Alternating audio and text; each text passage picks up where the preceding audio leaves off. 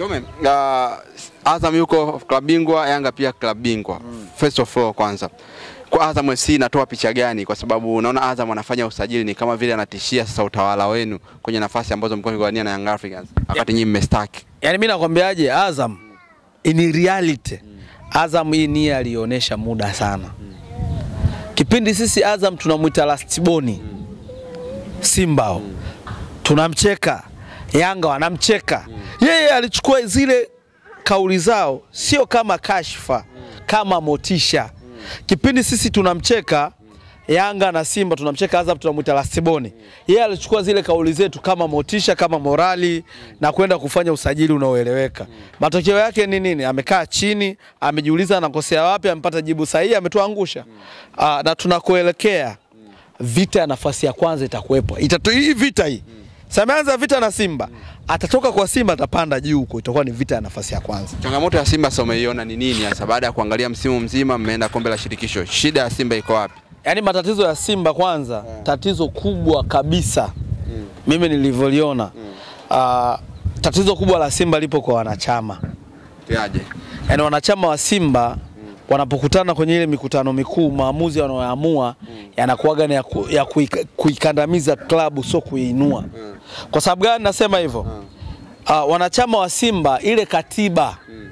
walipitisha wenyewe, hmm. yaani wakisha kula ule, ile biriani ile Yaani ile biliani sio inasomewa dua, hmm. sio biliani inakuwa ina nini, hmm.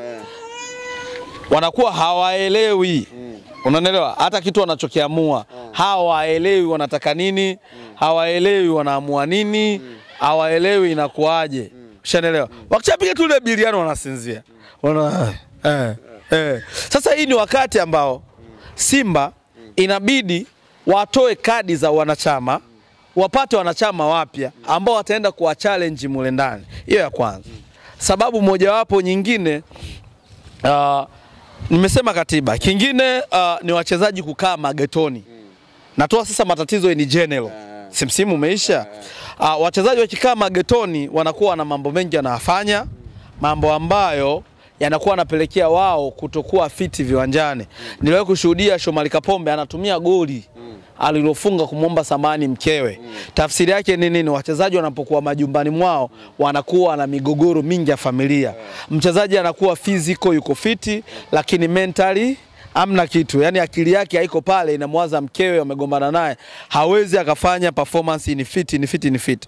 Kwa watoa wachezaji magetoni wawalete kambi. Kitu kingine uh, kwenye sekta ya usajili tuache usajili wa wachezaji wenye majina makubwa, bali tusajili wachezaji wenye uchu wa mafanikio, wachezaji ambao wakipata nafasi ya mpira akikosa analia, akifunga analia. Ushaiona hiyo? Yaani akikosa goli analia, akifunga analia, kwa nini nimefunga goli moja? Mchezaji mwenye uchungu wa namna hiyo ndo tusajili pale Simba. Alafu kitu kingine eh, tutafute makocha ambao tutakuwa tuna uwezo wa kuvumiliana nao, Mtafute makocha, ambao tutakuwa tuna uwezo wa kuwavumilia. sio mtafute makocha ambao ni bora kuendana na falsafa timu yenu. Yaani uh, ubora wa kocha ni kwenye matokeo wala sio kwenye karatasi. Tutafute makocha ambaye inapotokea upside, upside down wanaita upside down, tunapanda nao tunashuka nao, yaani tuwe tuna kocha ambaye ana uwezo wa kukata misimu mitatu. Yaani unajua kutengeneza timu nako kunahitaji muda. Tuamini timu yetu iko down, kwa kocha tutakayempata tumvumilie. Haujazungumzia swala la propaganda. Unajua tulizungumza siku ile baada ya mechi Yanga kumalizika. Nikakuuliza kwamba kuhusiana na swala zima la kuamini kwamba Yanga wananunua mechi ndio maana wamekuwa mabingwa. Amuoni kama nyewe ni moja ya changamoto ambayo inawaharibia pia kutengeneza timu yenu? Eh, eh, eh, hey. hizi propaganda ambazo uh, zinaanzishwa sana sana na msemaji msemaji akishaanzisha propaganda na wale chawa wake, ajenda ya leo ni. Wanatengenezaga ajenda wale watu, ajenda ya leo tunakuja nayo ni hii. Wale chawa wanakuja wanaongea na mashabiki boksi, wanapokea na accept. Mkitengeneza imani ya kwamba Yanga kila mechi anayoshinda ananunua, tafsiri yake ni nini? Mtafanya usajili wa kawaida, hamtofanya usajili wa kushindana naye, kwa sababu si mnaamini anashinda kwa kununua. Kwa hiyo yeye ataendelea kuwa bora ndani na nje ya Tanzania. mwisho wa siku timu itaenda kushuka, ina flop, ina flop. Msimu nafasi ya tatu, msimu ujao uh, kuna nafasi ya nne, msimu ujao kuna nafasi ya tano. Hizo nafasi zipo, hazijaisha hizo. Yaani nafasi ya nne iko wazi, nafasi ya tano iko wazi, nafasi ya sita iko wazi, ya saba iko wazi. Yaani ukiacha masiala, hizo nafasi zinakuhusu. Wapo wanaamini kwamba msimu unaokuja ni msimu wa Simba Sport Club kwa sababu wanasema wakiangalia kalenda Tanzania ilivyo ni misimu mitatu mitatu minne minne, unamwachia mwenzako. Yaani nishakwambia hivi, hiyo misimamo hizo imani hizo nini, injinia anakuja kuzibomoa zote. Yaani injinia mwanangu anakuja kuvunja imani na misimamo yote. Yanga itakuja kuwa Bayern Munich ya Bongo. Mimi nawaambia mimi naongeaga mdomo wangu, mnachukuliaga masiala, si mnachukuliaga mchome muongeaji. Hii misimamo hii ya kwamba ubingwa mwisho mara nne, Yanga anakuja kuibomoa na kama sio Yanga kuibomoa, Azam anakuja kuibomoa. Watu wanasajili, watu wanaweka hela. Mpira ushatoka kwenye falsafa na propaganda, watu wanaweka hela. Wajiulize, Aziz Ki pale Yanga analipwa shingapi? Anakula shingapi kwa siku? Pakome analala wapi? Anakula shingapi? Analipwa shingapi? Baka anakula shingapi? Analipwa shingapi kwa siku? Unaona wachezaji wakiingia uwanjani wanamwagika jasho. Mimi kuna mzee mmoja nilikuwa naongea naye msomi wa watu anaambia wachezaji wa Simba wajitumi. Unajituma unalipwa elfu ishirini unapewa posho elfu kumi na tano unajituma nini? Hela, mpira ushatoka kwenye propaganda, uleteni hela. Dr. Mo juzi anatoka anasema Trayageni aliwaita afu ndai friji lake bovu. Nimeona interview yake ule jamaa. Anasema Trayageni alivyowaita akawaambia, akauliza shida ya Simba ni nini, wakatoa maoni yao. Akawaambia tatizo ya Simba tajiri atoi hela nendeni kwenye mitandao ya kijamii mkamsifie atoe hela. Kwa ina maana Mo atoi hela hadi afanyaje?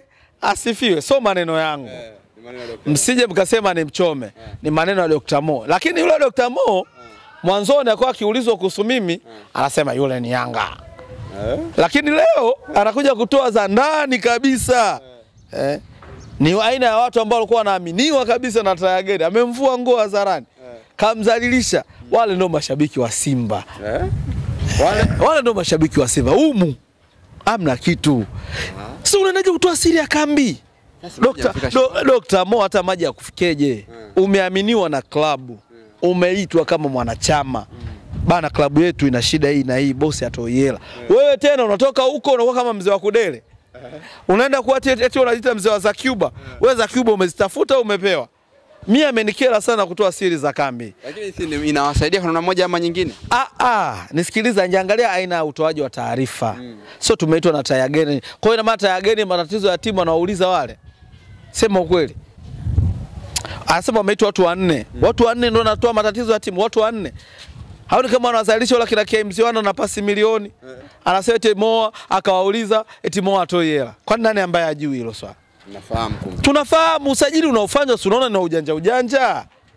Simba tunafanya usajili wa ujanja, tafsiri yake hela hamna. Ila sio kama tu labda ni, ni kipindi kigumu mnapitia, kila wachezaji ni wazuri. ugumu wa timu hela, timu ikiwa ina hela lazima upitie hichi kipindi. Madrid lini imepitia ukata wa hivi? Hamna. Manchester City lini imepitia ukata? Zinakutana Chelsea, timu ya Moscow inauzwa inanunuliwa, inauzwa inanunuliwa. Manchester United inauzwa, mara tajiri anaondoka. Yani timu zenye migogoro ya kifedha lazima ukutane na matokeo kama ya Simba.